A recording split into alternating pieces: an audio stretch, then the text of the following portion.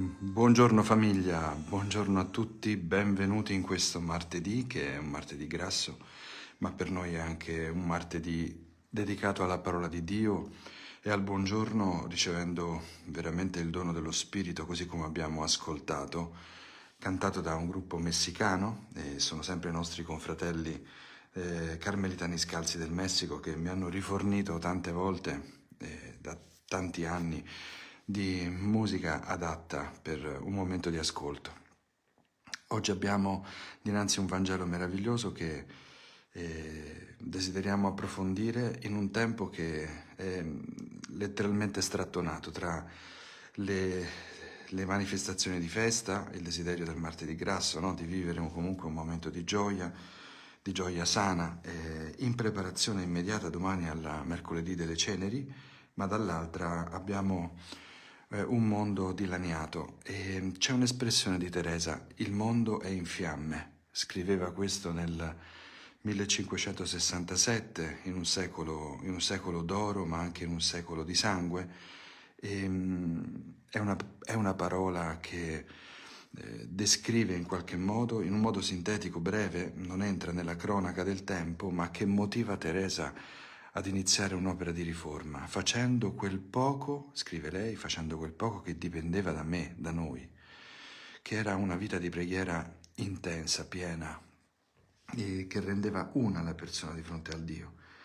E questo è quello che domandiamo in, questo, in questo momento anche di preghiera, che ha un valore eh, universale, che stentiamo a riconoscere e a comprendere, ma che eh, è tale, reso tale dalle promesse di Gesù.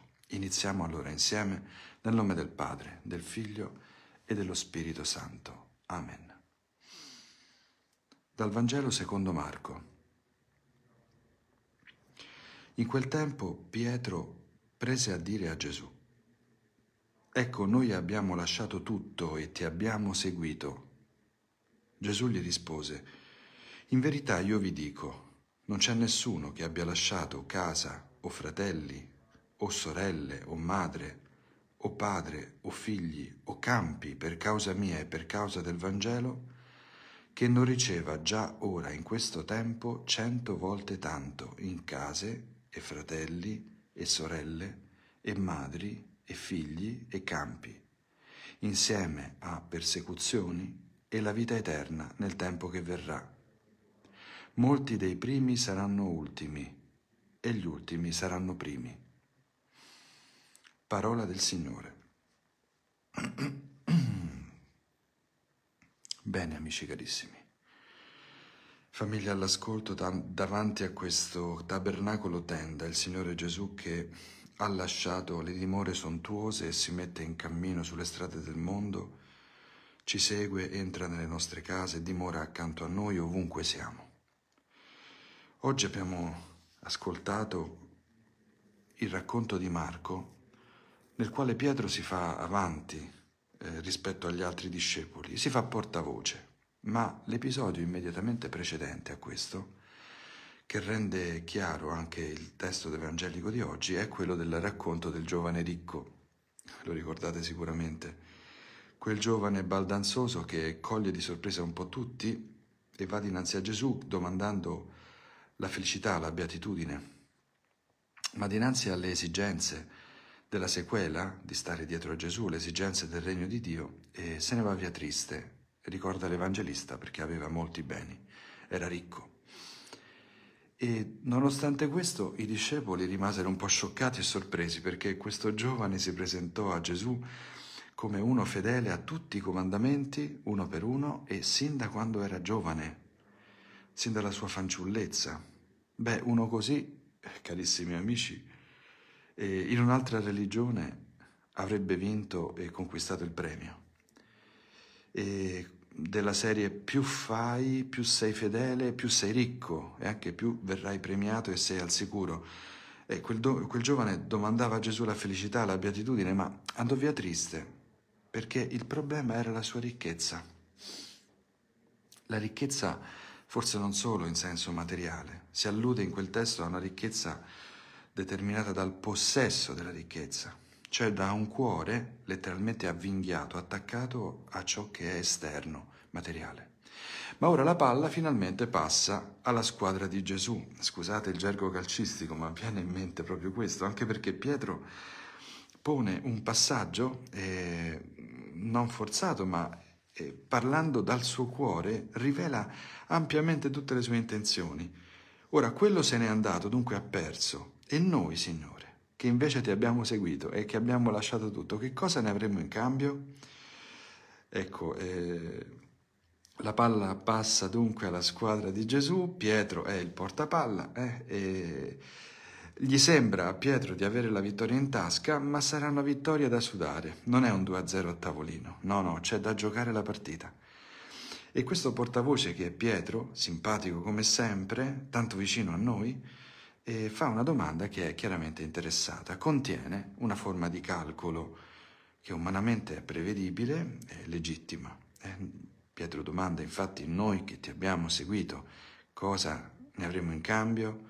Alcuni evangelisti riportano l'espressione completa, qui la si lascia alludere, noi che ti abbiamo seguito, noi ti abbiamo seguito Signore. Allora vedi un po' che puoi fare. Che cosa ci dai? Siamo un po' azzoppati, è vero, però siamo generosi, no? Tra l'altro la domanda di Pietro è eh, facilitata da questo contrappasso. Eh. La delusione del giovane che se n'è andato via triste e la baldanzosità di Pietro e dei suoi discepoli che ancora seguono Gesù come una ciurma che non comprende ancora la ricchezza, la, l'ampiezza delle promesse, ma anche la, posta, la posta in gioco dunque, ma anche la sofferenza del cammino verso Gerusalemme. Insomma, c'è in gioco tutta l'umanità di Pietro. E noi ci attacchiamo a lui, eh, al suo vestito, per andare insieme davanti a Gesù. E Gesù cosa fa? Risponde in un modo piuttosto articolato. Il Vangelo è breve, ma se riprendete il testo, se avrete modo oggi, vedrete che il testo è quasi ripetitivo. E, ehm, la prima cosa è che Gesù dice ai discepoli eh, qualche cosa, ma riferendosi in terza persona a tutti coloro che lasceranno qualche cosa per seguire Gesù. Infatti il testo non è quindi legato esclusivamente alla persona dei discepoli, ma anche a quelli che verranno dopo la Pasqua, quelli che entreranno nelle comunità cristiane, anche a noi oggi. È una promessa per tutti coloro che in ogni dove, in ogni tempo lasciano è questa la parola chiave, lasciare. Prima che sia una parola obbligata dal tempo, dalle ristrettezze del tempo presente, è una parola che è legata all'intimo del cuore. C'è un mistero in questa parola, lasciare. C'è una, uno spettro di solitudine e di abbandono. Essere lasciati dalle mani e dalle braccia rassicuranti di chi ci ama, essere lasciati da una madre, da un padre, soprattutto una madre, penso. Per seguire Gesù, dice Gesù, bisogna lasciare, farlo consapevolmente, mollare la presa, gettarsi alle spalle, camminare in avanti alleggeriti, mollare non solo ciò che è rassicurante, ma ciò che anche è paradossalmente rassicurante, perché potrebbe essere un sasso, un ricordo di un peccato passato, il ricordo di una maledizione che non dovrebbe avere più presa su di noi, eppure ce la portiamo dietro come se fosse la cosa più preziosa, e invece è semplicemente una macina legata al collo, una pietra. Ecco, questa sequela è una vocazione corrisponde anche ad una consacrazione, come posso testimoniare personalmente, ehm, come carmelitano scalzo, ma è anche un lasciare obbligatorio, perché eh, chiunque si pone a seguire Gesù, chiunque volge lo sguardo verso Gesù, toglie, distoglie lo sguardo dall'aratro, da, cioè da ciò che è dietro, scusate, molla la presa sulle cose passate. Lasciare è un po' una beatitudine. Beati coloro che lasciano. Lasciare andare, lasciar camminare, alleggerirsi. Beati in questo senso i leggeri, non solo i puri di cuore, i piccoli, i poveri. È una beatitudine anche per i leggeri, coloro che con leggiadria si mettono alla sequela di Gesù abbandonando gli attacchi passati. Il distacco è ciò che corrisponde a questo cuore libero. Ma lasciare cosa? E qui ancora una, una piccola divagazione su questo aspetto. Lasciare cosa? Il discorso si fa interessante perché Gesù ripete due volte un elenco. Prima di tutto le cose da lasciare, no? E poi dopo eh, le cose invece che si ricevono per il fatto di aver lasciato nel nome di Cristo e della, del Vangelo. Nel primo elenco ci sono tutta una serie di cose che sono, mm, se volete, riassumibili all'interno di due categorie. Eh, il padre e la madre e anche il patrimonio. Si tratta di lasciare eh, le cose più importanti che ogni persona possiede su questa terra finché vive. La madre e i figli, la padre e il patrimonio, cioè la terra e la casa. E i figli che sono la proprietà della madre la terra e la casa che sono le proprietà del padre. Ci sono aspetti ancestrali, antichi, no? In questo lasciare. È lasciare l'affetto e la proprietà. Tutto ciò che uno sente come privato e che eh, quando viene tolto, viene abbandonato, se, se ne sente deprivato. Ma tutto questo non in modo virtuoso, perché se è forti non sa bisogno di nulla, guarda che bravo, lascia tutto. Non è una gara di forza, ma è un lasciare per me, dice Gesù, per causa mia. Non è una lotta con voi stessi, non è un lasciare per rimanere in una sorta di vuoto pneumatico, non è una gara, è una lasciare per una persona, per me, per l'unica persona per la quale valga la pena lasciare tutto, ogni cosa. Ecco, se hai scoperto il tesoro nel campo, dirà Gesù in un'altra parabola, la perla preziosa, se hai incontrato Gesù, tu lasci tutto. E questo è vero anche per chi ha incontrato un grande amore. Chi ha incontrato un grande amore fa sacrifici che prima non avrebbe mai fatto per curare il suo corpo, la sua estetica, ma abbandona anche cose che faceva prima e ora non fa più, abitudini buone e cattive. Lascia tutto. Il resto assume, cioè, il resto assume un valore in relazione a quell'assoluto che è stato trovato. Lasciare ha a che vedere sempre con un prezzo, cioè è il prezzo che viene pagato per un amore più grande. Lasci perché hai scoperto di amare e allora lasci volentieri, con gioia, con slancio. Ti privi e ti distacchi con una generosità che è come quel gioco incredibile dell'amore nel quale l'innamorato fa dei sacrifici indescrivibili. Ma poi viene il secondo elenco e Gesù in questo elenco riporta quasi parallelamente tutti gli elementi del primo elenco, ma non vi perdete perché c'è qualcosa in meno e c'è qualcosa in più. C'è una cosa in meno che eh, si nota e che lascia una porta aperta, direi spalancata, su una riflessione ulteriore, personale. Si riceve cento volte tanto innanzitutto e il moltiplicatore ha un suo significato. Si riceve cento volte tanto in madri, sorelle, figli, figlie, campi e terra. Manca il padre. Sì, perché il padre è uno solo. Si abbandona il padre con le reti sulle barche, come fecero gli apostoli, ma si va verso incontro una figura di padre non rivelata, che in questo elenco è assente si allude ad una paternità che sarà quella che genera il figlio, Gesù, e che è la cui volontà è l'oggetto verso cui è proteso l'ascolto del cuore del figlio Gesù. È il Padre che è nei cieli, per il quale io vivo e annuncio, direbbe Gesù. E poi avrete qualche cosa di più, riporta il testo, Avete, avrete anche delle persecuzioni che non c'erano nella prima parte, e nel futuro la vita eterna. E queste sono due cose che, lungi da me ora mettermi a riflettere, a commentarle, ma hanno un valore aggiunto. Mentre il resto è inserito all'interno di un calcolo umano, queste due cose, le persecuzioni e la vita eterna, sono uh, destinate a lasciarci nello stupore della incalcolabilità. C'è qualcosa che supera eh, nel lasciare c'è qualcosa cioè, che si riceve ma è imponderabile e non si può quantificare. La vita eterna e così le sofferenze che non ci si aspetta in nome di Cristo. Per quale motivo? Cristo pietra di scandalo, ed è veramente così, eh, avrà una sorte che è la sorte anche del discepolo. C'è un mistero di iniquità, un mistero di dolore. Ma c'è di mezzo anche l'eternità, anch'essa è imponderabile, non è misurabile, non si può quantificare il moltiplicatore va oltre il 100, 100 per 1. Ecco, la domanda di Pietro era originata da un calcolo ed è prevedibile questo. E Gesù risponde, risponde azzerando le capacità di calcolo di Pietro, lasciandogli una porta aperta su qualcosa che non può misurare, perché di mezzo non c'è il calcolo, ma c'è la fede. Lasciare è sinonimo di abbandonarsi a qualcuno, non a se stessi né a qualcosa. Come fece Abramo, che è un po' l'emblema del distacco, lasciare.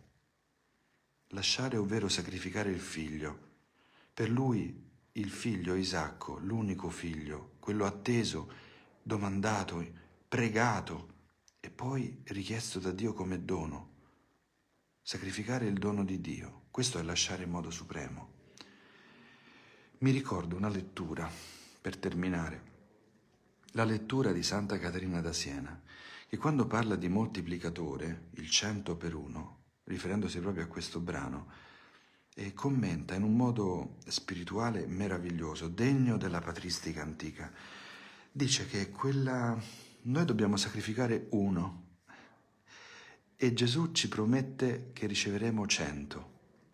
A noi ha chiesto, noi ha chiesto un sacrificio di qualcosa di, che abbiamo sotto gli occhi, che numericamente è concepibile, è uno, che sono la casa, i fratelli, la madre, il padre, la terra, il padre. Noi sacrifichiamo quell'uno per ricevere poi cento. E che cos'è quell'uno? Scrive Santa Caterina da Siena. Da Siena. Quell'uno è la mia volontà. Non, è, non sono i beni in sé, ma è la volontà di possesso è la volontà rassicurata dal possesso delle cose, tanto che posso essere povero, ma soprattutto poveramente legato a quel poco che ho. E allora è la mia volontà che sto facendo, comunque. E allora quell'uno che sono tenuto a, a, lasciare, abbandonare, a sospendere, a donare a Dio, a donare a Dio, a Gesù, è la mia volontà. Per ricevere che cosa? Il cento è il fuoco della carità divina scrive Santa Caterina, un personaggio infiammato di amore che ha lasciato traccia nei secoli nella società, nella politica del tempo, una donna che ha lasciato un'incisione fortissima nel percorso e nel flusso della storia umana. La potenza della carità divina è quel moltiplicatore, è quel cento, è quel numero incalcolabile, imponderabile che è l'amore di Dio contenuto nella piccola creatura povera che ha donato semplicemente la sua volontà per ricevere il dono della volontà di Dio. Ecco, questa fiducia, questa fiducia è veramente grande, carissimi. Io la vedo negli occhi, spessissimo la vedo negli occhi dei giovani che stanno facendo un profondo discernimento vocazionale, anche faticoso e doloroso. Io vi annuncio, carissimi amici, che Gesù è vivo, è risorto e c'è ancora, perché sta chiamando a sé, sta parlando chiaramente.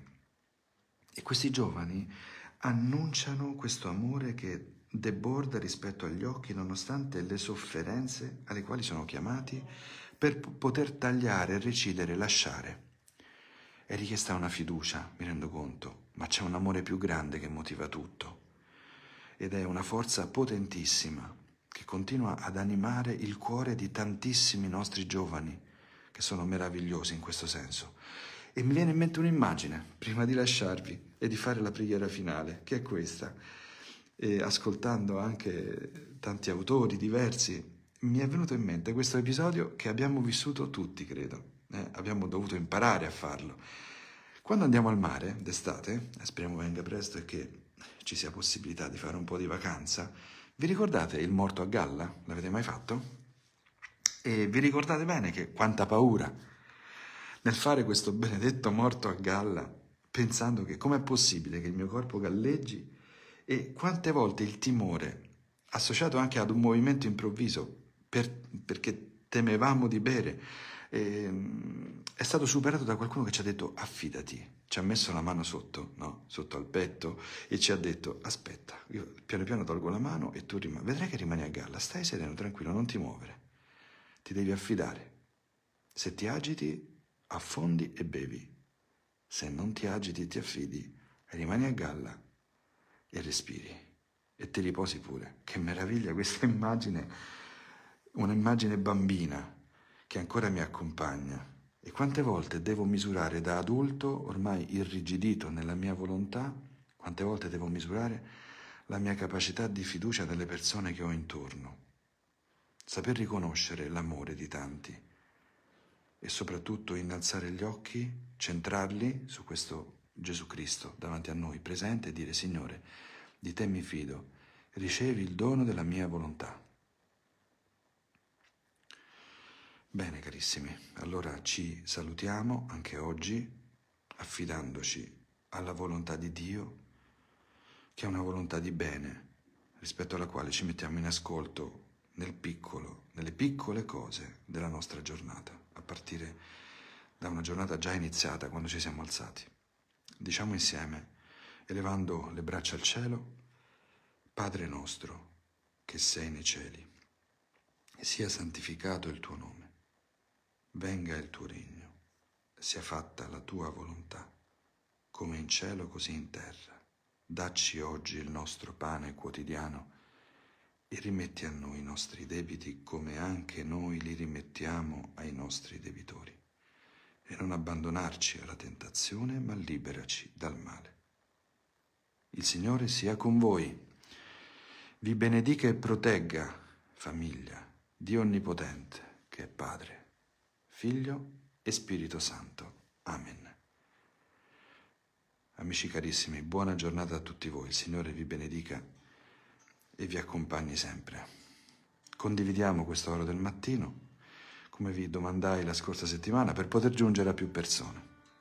Può essere una parola di ristoro, lo sappiamo. Ciao. Siente la